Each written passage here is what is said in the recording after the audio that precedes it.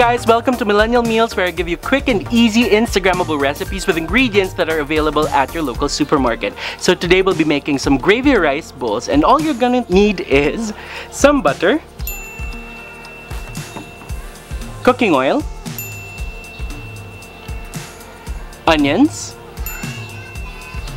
some ground meat, black pepper, liquid seasoning, soy sauce, all-purpose flour, some garlic powder,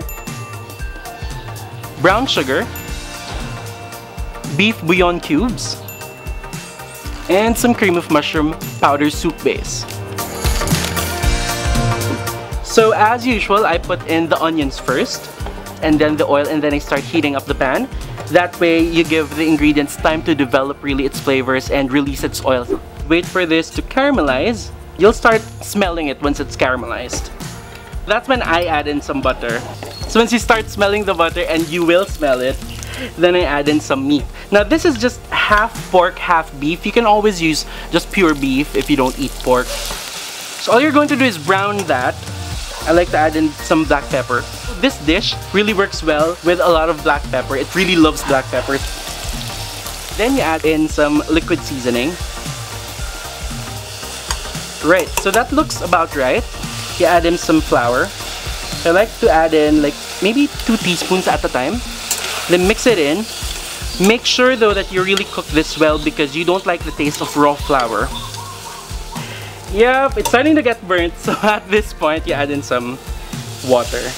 It thickens up very, very fast. And at this point is when I like to add my beef cube.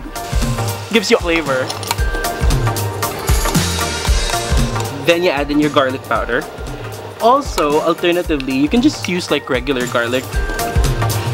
So at this point, I like to add in some cream of mushroom. If you have the ones in the cans, the liquid ones, you can add those in as well. It does the job. If you want to extend this with other ingredients, you can. Dump it in there at this point. Peas, corns, and carrots, you can add those in as well. I like to add in a little sugar. Totally optional though. If you don't like sugar, you don't like sweet food, then just leave it out. And if you feel like this is thick for you, just add in some water. But it's gonna thicken up more as it cools. So we're done. All you have to do is just serve this on top of rice. And that's the dish. So that's it, your gravy rice bowl, super easy and it's perfect for your children's baon or your late night cravings. That's really good. More rice. Catch us again next time. Bye!